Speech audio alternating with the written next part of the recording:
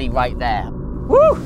Spitting cobra. This is scaring me, like seriously. Oh, did you see that? My name's Jack Randall, and I'm a zoologist. Wow! And I'm showing you every animal on the planet. They're not seeing me as a threat. Spitting cobra! Know, absolutely gorgeous. Going about their business. Yes. Come on, let's go.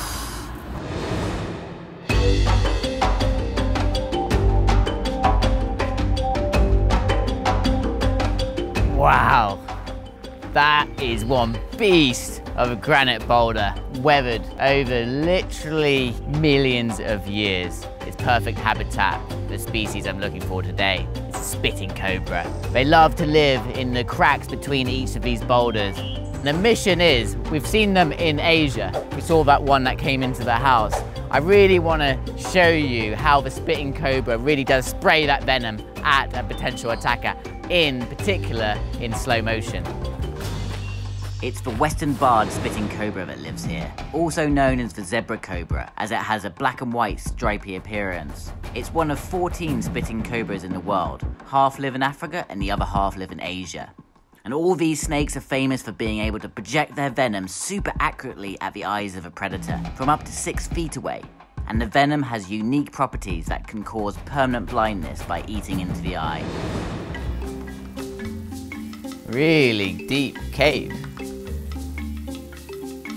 I reckon at night there would be a lot of geckos around here.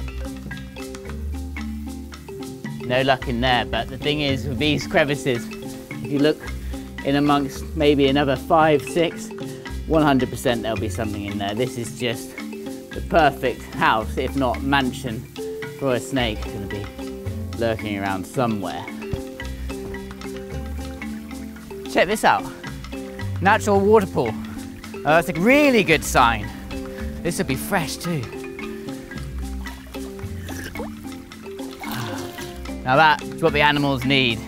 They'll be coming from miles and miles and miles around to drink this. So this is where I'm gonna focus my search.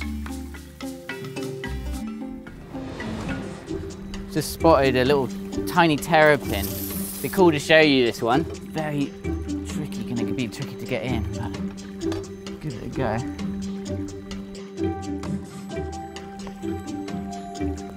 Oh, there he is. Woo! That is literally the tiniest terrapin I've ever seen. Little tiny marsh terrapin. Absolutely gorgeous. That shell is just perfectly formed, but tiny.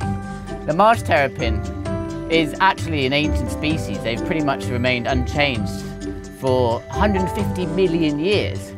So the formation of this, these rocks over 100 million years, so it could be that they've kind of evolved together among, in this area. And they've seen a lot of change of the climates over, the, over millions of years.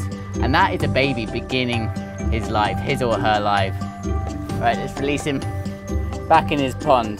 Good luck, buddy.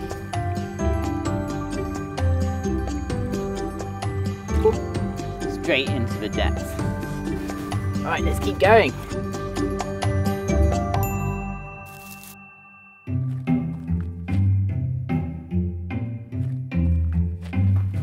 Oh yeah, look at that. Wow. There's a toad scaling this granite boulder. It's a particular toad species that only lives out here in these really dry, arid conditions.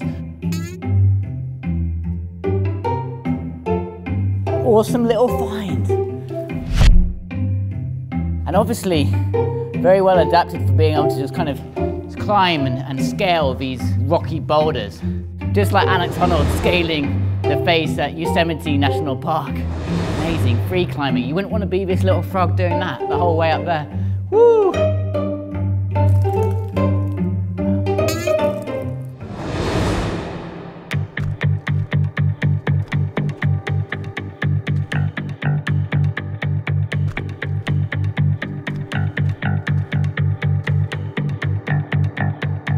What happens next is about to be the closest call I have ever had. This is extremely dangerous without a lot of experience. Please do not attempt to work closely with a venomous snake without professional support.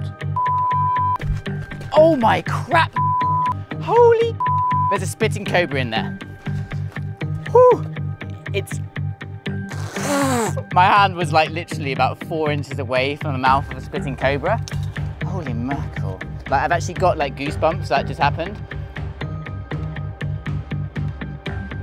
Okay, so I've got my um, goggles. His head is literally right there. Oh wow. Now they are able to spit up to two meters straight into the face of the attacker, their venom. It's incredibly accurate. Now I'm going to try and carefully entice him out so we can get a good look of him. Oh wow. Woo! Okay. This is scaring me, like seriously. We want to get them into the open. You can see how they use these cracks as a way to hide. Oh, wow. Okay, that's his head. Okay, got him. Woo! Spitting cobra. I'm getting him into the open so you can see what this guy does. Wow. Okay. Woo! Yes, our target species. Are you gonna come out this way? Woo! Wow, this is gorgeous. Look at the way this snake is backing. Look at this. Oh, did you see that? Oh, did you see that? Wow, yes. That's exactly what I wanted to show you. That spit venom has now just ended up on my glasses there.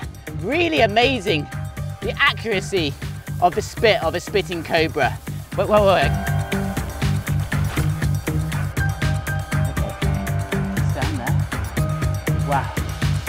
Absolutely amazing.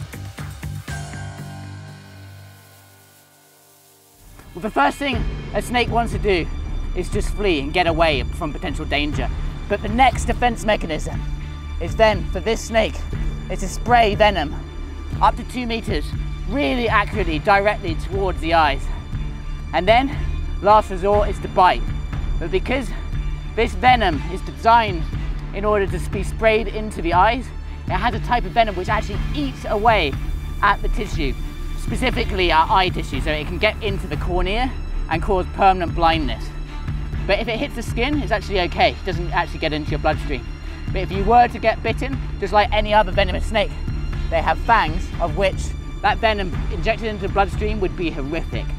It's one of the most horrific types of venom because it's different to the other front-fanged elapid snakes. This one has cytotoxic and neurotoxic venom combined in a, in a cocktail.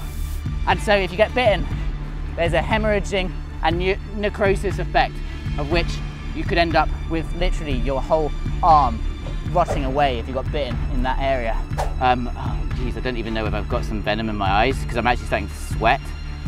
Do you got water? Okay, be careful, careful, careful. This venom I can now feel dripping down into my eyes, which is very serious. So I need a timeout to wash my eyes out thoroughly. Doing this is the best first aid. Done quickly like this means that there will be no harm done. Wow, it's just amazing, isn't it? I love this. This is the moment I, I, I really enjoy being in the presence of an animal. When they're there, just facing you, completely free to go away, but he's facing me and just saying that I'm boss. That hood, classic hood of a cobra. He's just staying in that position, looking as tall and strong as possible. He looks fearsome. If you were any animal coming across, you would want to avoid this snake. And there are predators of the spitting cobra, particularly hawks and eagles, but not many would want to try and take one on because it really does have that quite formidable defense mechanism and it is getting ready to go again because you can feel the vibrations, feels that from here. You know when they're about to spit, so I get a little bit closer, a little bit closer, they actually raise up a little bit and you can see he puts his head a little bit back gets ready to go. There you go. Face to face with the Western Barred Spitting Cobra. What I'm going to do is get my GoPro so you can see exactly what it feels like to be right here in my position.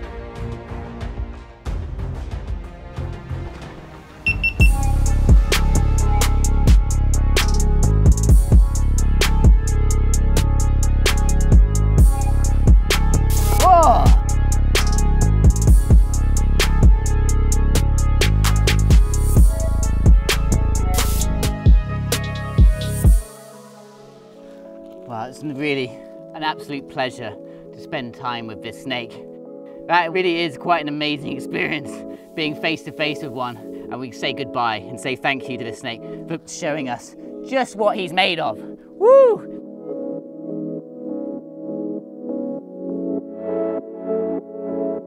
Happy hunting. Lovely. There he goes. Yes, Western barred spitting cobra. Woo!